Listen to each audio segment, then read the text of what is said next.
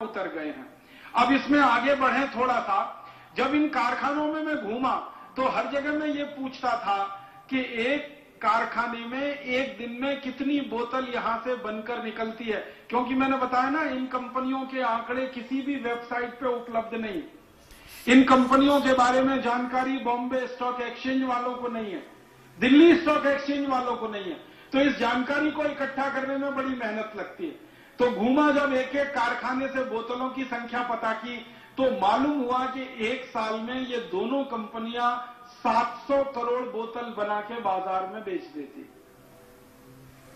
एक बोतल वो दस रुपए का बेचते अगर कम से कम हम माने, अधिक से अधिक तो साठ रुपए का है। कम से कम दस रुपए का एक बोतल माने तो 700 करोड़ बोतल बना के वो बाज़ार में बेच देते हैं।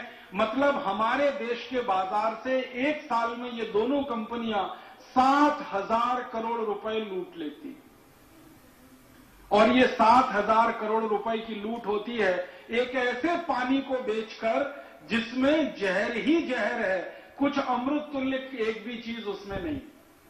अब ये जो पानी बिक रहा है पेप्सी और कोका कोला के नाम पर, इसके बारे में भारत के कई विशेषज्ञ वैज्ञानिकों ने शोध की है, रिसर्च किया है और बताया कि इस पानी में मिलाते क्या क्या है।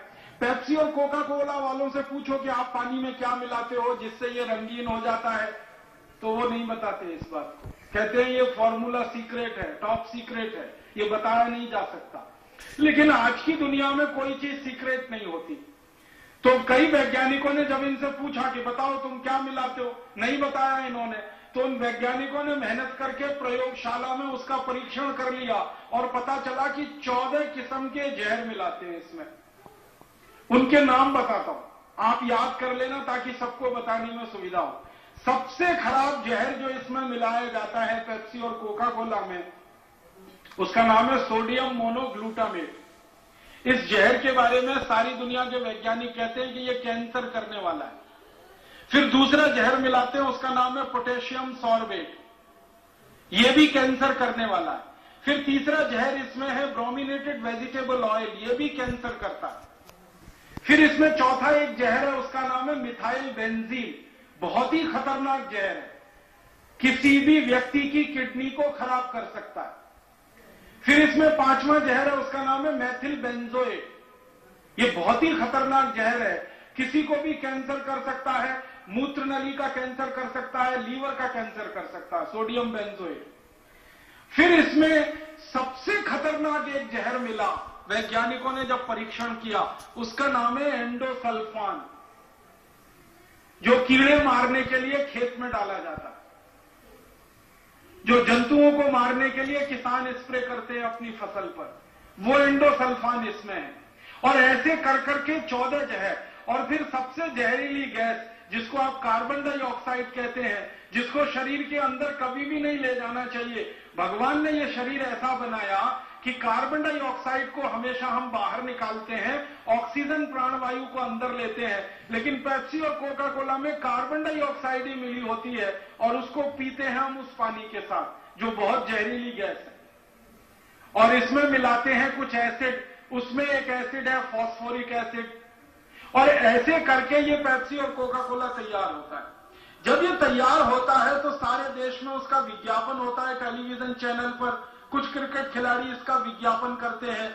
कुछ सिनेमा में नाच गाना करने वाले जो एक्टर, एक्ट्रेसेस हैं, वो इसका विज्ञापन करते हैं। और उस विज्ञापन में इस तरह से दिखाया जाता है कि सबसे पवित्र पानी अगर कोई है तो वो यही है पेप्सी कोला कोका कोला कई सिनेमा में काम करने वाले एक्टर, एक्ट्रेसेस व्यक्तिगत ज़िंदगी में पेप्सी कोक नहीं पीते, लेकिन विज्ञापन करते हैं। क्योंकि विज्ञापन करने का पैसा मिलता है। एक विज्ञापन आता है ना, आपने देखा ठंडा मतलब कोका कोला इसको बोलने के लिए आमिर खान को सात करोड़ रुपए मिलता। आमिर खान एक फ़िल्म बनाता है सिनेमा की तो एक साल लगता है, और उस फ़िल्म को बनाने का मेहनताना चार करोड़ मिलता है। लेकिन ठंडा मतलब पेप्सी कोला बोलने का ही सात करोड़ मिल जाता। है तो फ़िल्म से अच्छा धंधा तो ये है विज्ञापन का। बताओ। तो ये जो स्थिति है, सिनेमा में काम करने वाले, क्रिकेट में खेलने वाले लोग इसका विज्ञापन करते हैं पैसे के लालच में। और ये पैसा कंपनी कहाँ से देती है? आपको सत्तर पैसे का पानी जो दस रुपए में बेचा, उसमें से जो मुनाफा कमाया, उसी का एक हिस्सा वो उनको दे देते हैं। उसमें से थोड़ा सरकार को टैक्स के रूप में दे देते हैं और बचा हुआ सारा नेट प्रॉफिट यहाँ से लूट अमेरिका ले जाते हैं। अब जो सबसे गंभीर बात मुझे आपसे कहनी है वो ये कि ज़्यादातर लोगों को ये पूछो कि आप पेप्सी को क्यों पीते हो? तो लोग कहते हैं कि जी, ये बहुत अच्छी क्वालिटी है। अब पूछो, ये अच्छी क्वालिटी क्यों है? तो कहते हैं, ये अमेरिका की कंपनी है। तो क्या अमेरिका की सब कंपनियाँ क्वालिटी देती हैं? तो भारत के लोगों के दिमाग में यही घुसा हुआ है कि अमेरिकन प्रोडक्ट माने बेस्ट क्वालिटी। अमेरिकन कंपनी माने बेस्ट क्वालिटी। उनको ये नहीं मालूम है कि अमेरिकन प्रोडक्ट दुनिया में वर्स्ट क्वालिटी भी होते हैं सबसे खराब क्वालिटी के होते हैं। अब पेप्सी कोक की ही जानकारी देता हूँ। अमेरिका की एक संस्था है, उसका नाम है FDA food and drug administration और ऐसी ही भारत में एक संस्था है। दोनों के दस्तावेजों के आधार पर मैं बताता हूँ कि अमेरिका में जो पेप्सी और कोक बिकता है और भारत में जो पेप्सी और कोक बिकता है तो भारत का पेप्सी कोक अमेरिका के पेप्सी कोक की तुलना में 40 गुना ज़्यादा जहरीला 40 गुना। और हमारे शरीर की जहर को निकालने की एक क्षमता होती है। हमारे शरीर में जहर को निकालने की क्षमता से 400 गुना ज़्यादा जहरीला है, पेप्सी और कोका कोला आप देखो इसकी क्वालिटी क्या है। और वैज्ञानिकों का यह मानना है कि कोई भी पेप्सी और कोका कोला पिएगा तो सबसे जल्दी कैंसर होने की संभावना, सबसे जल्दी डायबिटीज़ होने की संभावना सबसे जल्दी ऑस्टियोपोरोसिस होने की संभावना, सबसे जल्दी ऑस्टियोपीनिया होने की संभावना, सबसे जल्दी मोटापा होने की संभावना, सबसे जल्दी दांत गलने की संभावना, हड्डियों के कमज़ोर होने की संभावना, ऐसी 48 बीमारियाँ सबसे जल्दी हो सकती है, ये सारी दुनिया के वैज्ञानिक कहते हैं, पेप्सी और कोका कोला से। तो इतना खतरनाक सॉफ्ट ड्रिंक भारत के बाज़ार में बिक रहा है और उसका हज़ारों करोड़ रुपया यहाँ से लूटकर अमेरिका जा रहा है। अब अंत में इस पेप्सी कोक के बारे में एक जानकारी और देना चाहता हूँ कि इसकी क्वालिटी क्या है। थोड़े दिन पहले से आपने परम पूजनीय स्वामी जी के मुँह से सुना होगा। विज्ञापन आता है ना, ठंडा मतलब कोका कोला स्वामी जी ने उसकी काट करने के लिए बहुत अच्छा विज्ञापन बनाया। ठंडा मतलब टॉयलेट क्लीनर। ये टॉयलेट क्लीनर कहा तो मज़ाक में नहीं कहा। मैं आप सभी भाई बहनों को ये गंभीर बात कहना चाहता हूँ कि परम पूजनीय स्वामी जी ने ये जो कहा ना, ठंडा मतलब टॉयलेट क्लीनर ये मज़ाक में नहीं कहा और उपहास में भी नहीं कहा। ये सत्यता है और सच्चाई है। आप बोलेंगे, जी, क्या सच्चाई है?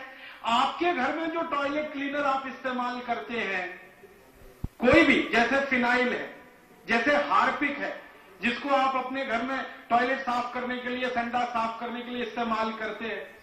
हाँ तो जो भी आप इस्तेमाल करते हैं टॉयलेट क्लीनर के रूप में अपने घर में, उसमें एक एसिड होता है और उस एसिड की कुछ मात्रा होती है।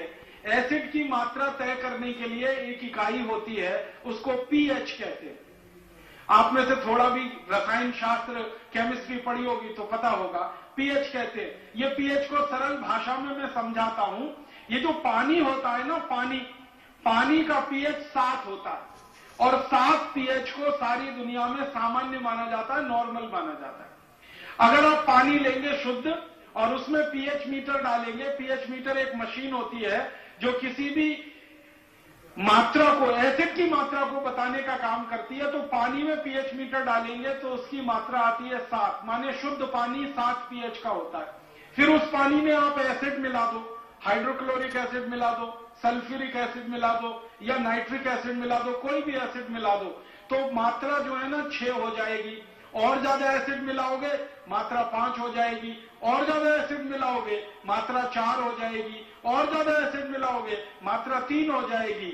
और बहुत एसिड अगर हो गया तो मात्रा दो के आसपास आ जाएगी। और एक का मतलब तो पूरा एसिड ही एसिड है। जब पेप्सी और कोका कोला का एसिड जाँच किया गया तो पता चला कि उसका जो एसिड है वो दो दशमलव चार है। दो दशमलव चार माने इतना खराब एसिड जिसको आप टॉयलेट पे डालो तो जगह झकाझक सफ़ेद हो जाए।